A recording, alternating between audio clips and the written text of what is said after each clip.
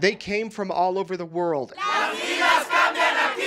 and spent the last few days learning, growing, reflecting, and celebrating at Melaleuca's annual convention in Salt Lake City. Listening to the speakers today, I'm like, wow, this company is so different than any other company I've ever seen. Thousands of people attended the convention, and hundreds of employees from eastern Idaho were on hand to help. For the first time ever, Melaleuca reached over $2 billion in sales last year, and $5.2 billion has been paid out to marketing executives living around the globe. They're the ones who created this, they're the ones who made this happen.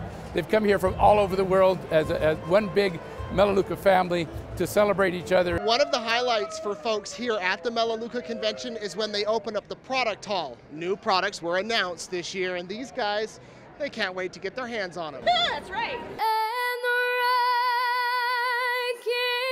Idaho Falls native Paige Anne sang the national anthem.